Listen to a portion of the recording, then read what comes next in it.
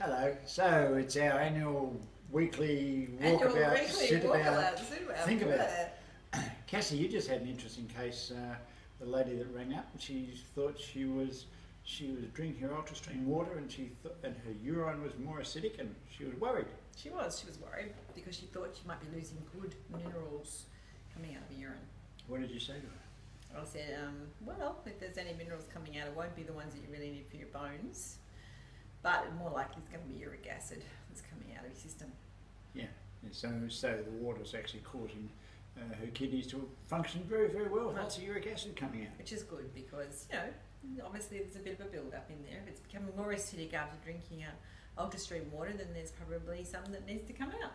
And I heard you talking about K two as well. Yeah, because she's got very bad osteoporosis, and you and I have had a lot of experience with that now because Ian hasn't. Well, yeah, you're a bit of a uh, missionary. I'm a missionary. You adopt the missionary. I'm a K two, K two missionary. Um, so yeah, I just said to her, look, you know, you need to take 45 milligrams of K two a day, 15 milligrams three times a day, and that's really what's turning your osteoporosis around. Yeah, it is. It is, and that's tested, isn't it? That that's it's not like a theory That's a Japanese study, and it was done on old folks. on old folks. Mm-hmm. Okay, And it works. not like me. No, No. a bit older than you, Okay, but all right, cool. So. I've got a couple of things to play with here. Look at this. Does it look like Coca Cola? It's not. That is Japanese hydrogen water in a can. You can buy it in a can. You can have it. You can have orange or some other funny flavour or natural, uh, and it's not bad. Of course, the pro- problem is it's still in a can. Uh, you can't put hydrogen water in plastic because the hydrogen goes straight through the plastic. The the people What's wrong with make- can? What's wrong with the can? Hmm. It's just lots and lots of cans, Oh, okay, yeah. right? So if you're going to Plastics drink, yeah, well, if you're going to drink, you, if you're going to get your hydrogen water out of that, as compared to an ultrastream, and you're going to Oh, drink a couple of okay. litres a day, Yes. that's about six cans. Of course. Yeah. Okay, and that's Yep, on the heap. This is the other way the Japanese have tried to do it. See this little sachet? They call it H4O. Uh, it's supposed to have mo- a very low millivoltage of AWP in there. We all know what AWP is, don't we? Um, but I tested it. It's not very good. But again, see that the sachet, the idea is to keep the hydrogen in because this is the amazing thing. And we've now seen lots and lots of uh, hydrogen generation methods, and the, the UltraStream is fabulous, frankly. But the key is you drink your water when the hydrogen is in the water. You don't let it sit around for ages. You get it into you as fast as you can. Yep. Um, here's a few other little things because people are asking us about this all the time. This is, the, well, I'm not going to open it. That's the Alka sachets. Uh, and there's sachets you can put into water. They, they have magnesium in the sachet. Uh, they will generate some hydrogen, but, but really they're a magnesium and, uh, and an alkalizing method.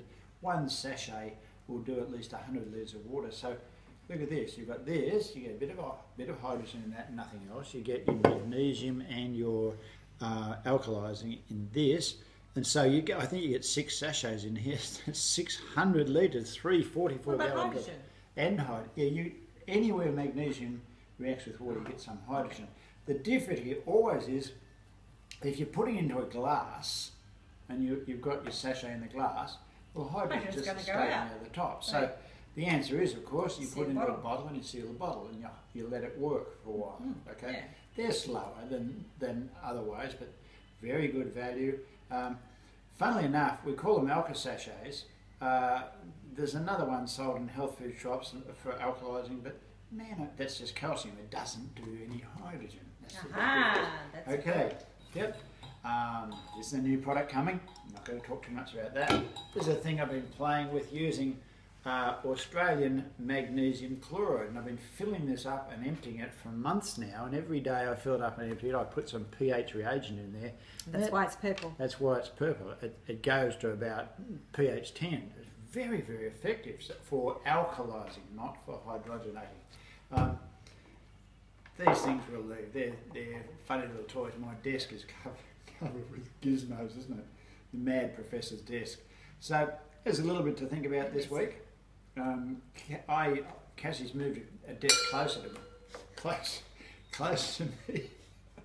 So we, you know, I'm hearing lots of the things she's telling people, and I love listening to her because she's not bad looking, but she's very smart. Okay, have a great week.